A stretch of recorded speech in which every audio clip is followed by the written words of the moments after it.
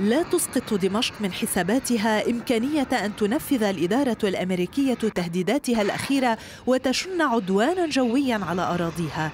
هي التي تجرعت ولم تزل تتجرع. كأس الحرب المرة منذ سبعة أعوام لم يعد يرهبها المزيد بل أصبحت في موقع المجرب والناصح. وهو ما يبدو واضحا من خلال كلام سفيرها في بيروت علي عبد الكريم علي. يجب أن يؤخذ الأمر بالحسبان وهو مأخوذ. ولكن الذي تطمئن له سوريا رئيسا وجيشا وشعبا هو أن آه، الانتصار يتحقق على الأرض. وبالتالي ردود الفعل ومنها هذا الضجيج حول الضربة وهذا التهديد هو نتيجة لما حققه الجيش العربي السوري. لذلك قد يعيدون النظر من أجلهم لا من أجلنا.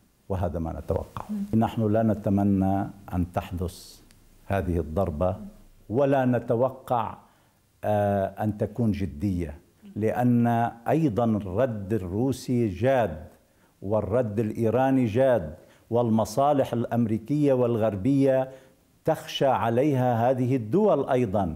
لذلك ليس كل كلام يقال تطبيقه يكون بنفس سهولة إطلاق الكلام. بمنطق الثقة بالنصر يتحدث الدبلوماسي السوري المستند إلى الدعم الروسي والإيراني وهو لا يجد في القاموس السوري مصطلحا يعبر عن نأي لبنان بنفسه خصوصا بعد استخدام لبنان منصة لضرب بلاده. ماذا تنتظرون من لبنان إذا ما صارت الضربة؟ يعني موقف ما لبناني؟ عبر عنه بيان وزارة الخارجية وما عبر عنه دولة الرئيس بري وما عبر عنه الوزير الفرنجي وما عبرت عنه قيادات وطنية وما تعبر عنه المقاومة. بيزعجكم الحديث عن النقي بالنفس وقت لبنان بيقول نحن ننقى بنفسنا عن ما يجري في سوريا في الترجمة الواقعية لا توجد هنالك إمكانية للنقي لأن هذا العدوان الذي يعني اخترق السيادة اللبنانية وانتهك السيادة اللبنانية هو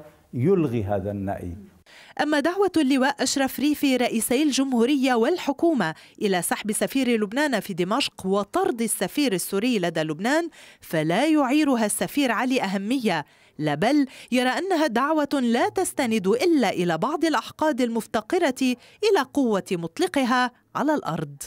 دارين دعبوس قناة الجديد.